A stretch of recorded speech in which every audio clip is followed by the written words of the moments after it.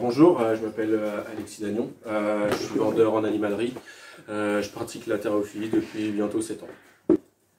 Alors j'ai fait un bac pro animalerie, après j'ai enchaîné sur un BTS animalerie mais j'ai fait qu'une année pour partir travailler directement sur la deuxième, sur la deuxième année. Voilà. Après au cours de ces formations-là j'ai passé un certificat de capacité vente pour animaux domestiques et non domestiques.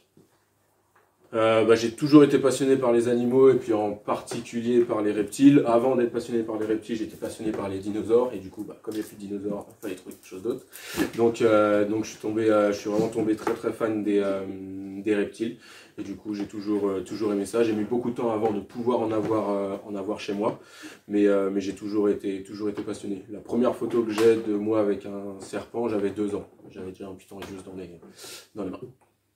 Euh, je possède une quinzaine d'espèces à peu près. Donc ça va du lézard au gros serpent, aux petites espèces. Euh, j'ai de la grenouille, euh, j'ai de l'insecte, j'ai un petit peu de, un petit peu de tout. J'essaie de toucher, toucher un petit peu à tout. Je suis plus espèce en général australienne et espèce asiatique.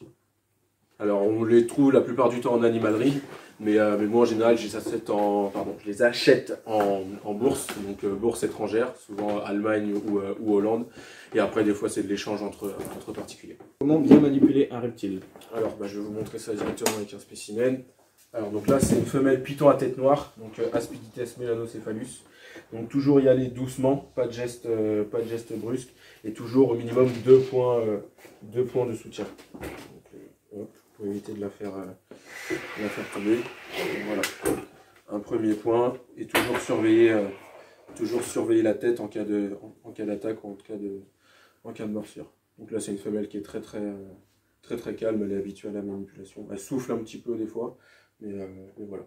Donc pythonidé australien.